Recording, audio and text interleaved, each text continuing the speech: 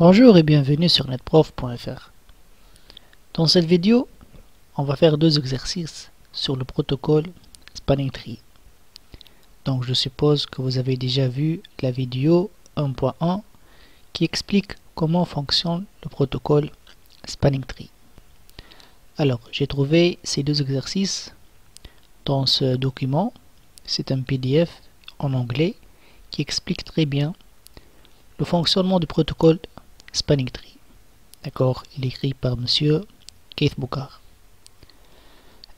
Commençons par l'exercice numéro 1.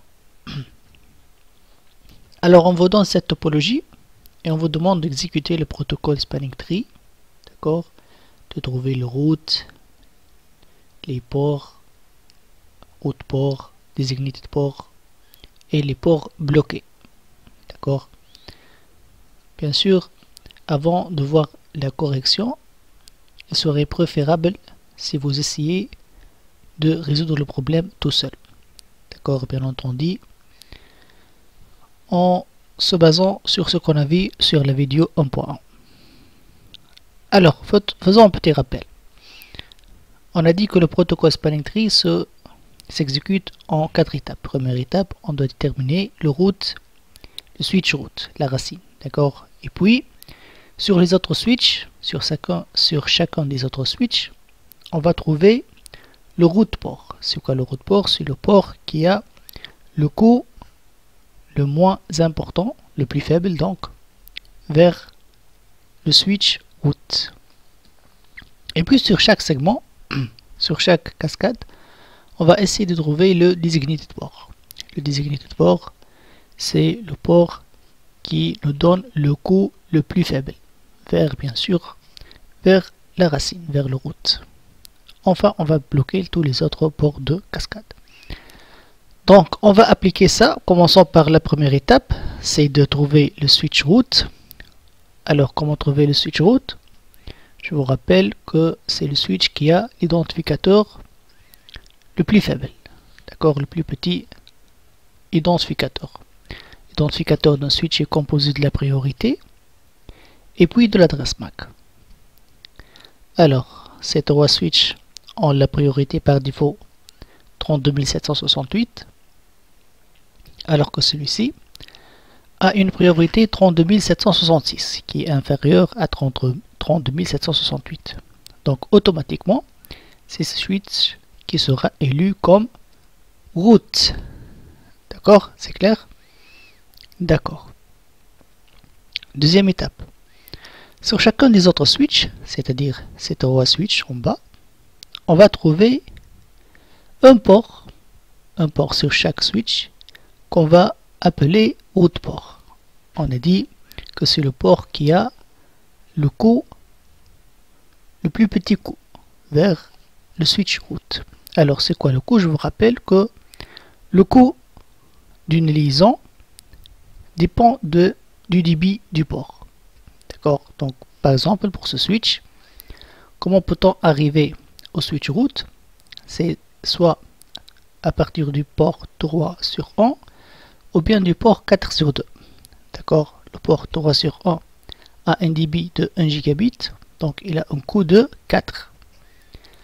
Alors que le port 4 sur 2, pour arriver au switch route, il va falloir additionner les deux coûts donc un coût pour 100 mégabits, c'est-à-dire 19, plus 4. Pourquoi 4 Parce que cette liaison a un débit de 1 giga. Donc le coût est 4. La somme 19 plus 4, ça fait 23. Bien sûr, 4 est inférieur à 23. Donc c'est le port 3.1, 3 sur 1, qui est le plus important. C'est lui qui est le route port pour ce switch. D'accord, faisons le même raisonnement. Donc là, c'est évident que le port qui a le coût le plus faible, c'est le port 3 sur 6. D'accord? Un coût de 4. Maintenant, pour ce switch, pour arriver au switch route, soit on peut passer par le port 5 sur 1, qui a un débit très faible, 10 mégas, d'où le coût important 100. Donc ce port a un coût 100. Ou bien on peut arriver aux routes à partir des deux ports 1 sur 1 ou bien 1 sur 3. Alors voyons le coup. Ici il va, il va vous falloir un coût de 19. Pourquoi 19 Parce que le débit est de 100 mégas. Donc 19 et puis 4. 19 plus 4, 23, c'est inférieur à 100. D'accord? Donc on peut passer soit par 1 sur 1 ou bien 1 sur, 1 sur 3, mais surtout pas le port 5 sur 1. Maintenant, lequel des deux ports sera le route port? Alors, normalement, dans le cas général, on doit voir les switches sur lesquels sont connectés ces deux ports. Et on choisit le switch qui a l'identificateur le plus petit identificateur. Mais là, les deux ports sont connectés sur le même switch. D'accord? Donc, je vous rappelle qu'on a vu ce cas dans le cours et dans la vidéo 1.1 et on a dit qu'on choisit le port. C'est pas le plus petit port de ce switch, mais plutôt le petit port, le plus petit port du switch adjacent. C'est-à-dire, dans notre cas, c'est 1 sur 1. 1 sur 1 c'est inférieur à 1 sur 2. D'accord? Donc on choisit le port 1 sur 3 qui est le route port. D'accord? Donc on ne choisit pas 1 sur 1. Mais on choisit 1 sur 3. Pourquoi? Parce que l'identificateur du port 1 sur 1 est inférieur à l'identificateur du port 1 sur 2. Et on a vu que le switch AF77 connaît l'identificateur des ports ou bien dans la trame BPDU. D'accord? Donc ici, on va recevoir deux trames BPDU. Et dans la trame, on trouve une information sur l'identificateur du port. D'accord? Passons à la troisième étape. Troisième étape, trouver les designated ports. On a dit il y a un designated port sur chaque, sur chaque cascade sur chaque domaine de collision. Mais je vous rappelle qu'on a vu une règle qui dit que tous les ports du switch route sont des designated ports. Donc les ports 3 sur 9, 3 sur 5 et 5 sur 2, on va les mettre automatiquement designated ports. D'accord? Donc pour ce lien c'est fait, pour ce lien c'est fait, et pour cette cascade aussi c'est fait. Maintenant on s'intéresse à cette liaison, lequel des deux ports est designated port? Pour trouver ça, on a dit qu'on va se mettre au milieu et on va se poser la question, lequel des deux ports a un coût plus petit? Si je passe par le port 4 sur 2, donc ça va me coûter seulement 4 pour arriver au switch route. Pourquoi 4 Parce que cette liaison a un débit de 1 giga. Par contre, si je vais passer par le port 4 sur 1, donc ça va me coûter aussi combien? 4 aussi. Dans ce cas, lequel des deux switches je choisis? Je choisis le switch qui a l'identificateur le plus petit. Alors, l'identificateur d'un switch est composé de la priorité et puis de l'adresse MAC. On a ici même priorité, donc on va choisir le switch qui a l'adresse MAC la plus petite. 0211, AB, et puis ici 27, et là AA. Bien sûr, 2 est inférieur à A en exa. Donc, le designated port, c'est le 4 sur 2. D'accord, c'est clair? Maintenant, on va s'intéresser à ces deux liens. Alors, commençons par ce lien on va se mettre au milieu. D'accord Lequel des deux ports est le plus intéressant? Si je vais passer par 1 sur 3, c'est-à-dire ça va me coûter 100, puisque le débit ici est de 10 mégas, donc c'est pas, pas intéressant. Là, évidemment, c'est le port 1 sur 1 qui est le plus, qui a le coût le plus faible, donc c'est le designated port. Faisons le même raisonnement ici. Donc 1 sur 2 est le designated port. On arrive enfin à la quatrième étape. On va bloquer tous les autres ports de cascade. Qu'est-ce qu'il nous reste? Là, c'est fait, c'est fait. Ah, 4 sur 1. ça, on va le bloquer. D'accord, là, route port, designated port, designated port, designated port, mais on a le port 1 sur 1 qu'on doit bloquer. Et puis, on a sur ce lien 5 sur 2 designated port, il nous reste 5 sur 1 qui sera bloqué. Voilà. Donc, si on veut résumer, quels sont les ports qui seront fonctionnels donc on sait bien que tous les designated ports et tous les routes ports sont fonctionnels. D'accord? Quelles sont donc les cascades qui ne vont pas travailler? Donc on a cette cascade va disparaître puisque ce port est bloqué. Réellement elle existe, mais logiquement elle ne va pas transporter des données. Aussi ce lien entre le port 1 sur 1 et 1 sur 2 et aussi ce lien. D'accord Donc voici la topologie fonctionnelle finale. D'accord Donc une trame qui veut passer de ce switch vers celui-ci va passer par le switch route puis par ce, ce switch ABAA pour arriver enfin à la destination. D'accord Très bien. On passe au deuxième exercice. C'est la même idée, mais on a ajouté ici un cinquième switch. Alors toujours, je préfère que vous essayiez tout d'abord tout seul de résoudre ce problème et puis voir la correction. Alors on commence par la première étape, laquelle? Choisir le switch route. Faisons le même raisonnement.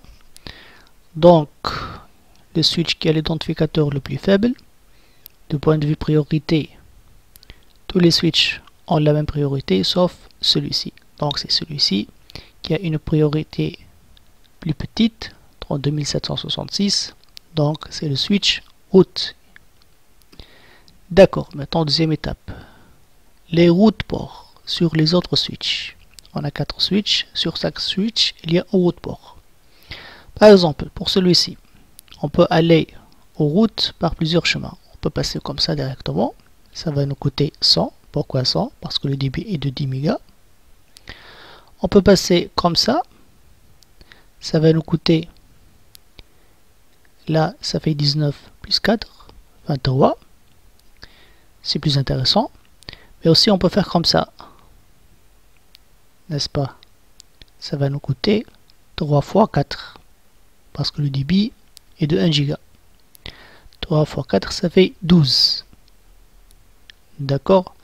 Alors il y en a d'autres chemins, mais ça se voit que ceci est le chemin le plus intéressant, qui a le plus petit coût.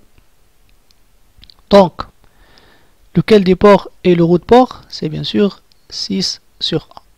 D'accord, faisons donc même ici. Là c'est évident, le route port c'est 3 sur 6. Un lien direct de 1 giga, on ne peut pas trouver mieux. D'accord, Maintenant, celui-ci. Pour arriver au switch route, on peut passer par le port 5 sur 1, mais ça va nous coûter 100. On peut aussi, pardon, pas 100, là ça va nous coûter 19. C'est un lien à 100 mégabits. Donc, comme ça, ça va nous coûter 19 plus quelque chose, donc c'est pas important, c'est pas intéressant. Mais si on passe par le port sur sur 6 sur 1. Donc ça va nous coûter 12. Donc évidemment, c'est le port sur sur 1 qui est 6 sur 1 qui est le port route port. Il nous reste enfin ce switch. Alors pour arriver aux routes, donc ça se voit que le port le plus intéressant c'est 5 sur 2. Ça va nous coûter seulement 4 plus 4, 8. D'accord? Passons à la troisième étape. Sur chacun des designated ports, on va chercher, pardon, sur chacun des, segments, des cascades, on va chercher le designated port. Déjà, je vous rappelle que tous les ports du route, du switch route, sont des designated ports, puisqu'ils ont le plus petit coût vers le route qui est 0. Maintenant, on s'intéresse aux autres cascades. Par exemple, celle-ci, alors si je vais me placer au milieu, lequel des deux switches est le plus intéressant? Bien sûr, ça se voit que c'est celui-ci, puisque celui-ci a un débit de 1 giga vers le route. Donc le designated port, c'est 4 sur 1. D'accord. Maintenant, pour ces deux liens, si je vais me placer au milieu, lequel des switches est le plus important? Bien sûr, et le plus intéressant, c'est celui-ci. Il a un coût seulement de 4. Donc, ces deux ports, 1 sur 1 et 1 sur 2, sont les designated ports. D'accord Ici c'est fait. On connaît le designated port, c'est 5 sur 2. Maintenant, si je vais me placer ici au milieu, lequel des deux ports est le plus intéressant? 6 sur 1 ou bien 4 sur 1 Si je vais passer par ce switch, donc ça va me coûter 100. Évidemment, c'est le port 4 sur 1 ici qui, a, qui est plus intéressant. Donc c'est le 4 sur 1 qui est designated port. Ça va nous coûter seulement 4 plus 4, 8, comparé à 100. Et bien sûr en faisant le même raisonnement, donc ici le designated port c'est 3 sur 5. Donc je ne sais pas si vous avez le remarqué, mais chaque fois qu'il y a un route port, le port opposé sera designated port. Route port, designated port, route port, designated port on va finir par bloquer les autres ports de cascade. Qu'est-ce qui reste à bloquer? On a 3 sur 1 ici, on va le bloquer. D'accord, ce port 4 sur 2, on va le bloquer. Seuls les ports designated port et route port sont fonctionnels. Qu'est-ce qui reste aussi? On a 1 sur 3, 1 sur 1, 5 sur 1 aussi. Ça, c'est fonctionnel fonctionnel. Voilà. Donc, si on va faire un petit résumé pour voir quelles sont les cascades qui vont transporter des données. Alors, cette cascade ne va pas fonctionner. Celle-ci aussi. Celle-là et celle-là. Et enfin celle-ci. Donc voilà les cascades. Seules les cascades de 1 giga vont fonctionner. Voilà, ainsi on arrive à la fin de cette petite présentation. J'espère que j'étais clair et que vous avez trouvé la solution pour ces deux petits exercices. Je vous remercie pour votre attention. Merci et au revoir.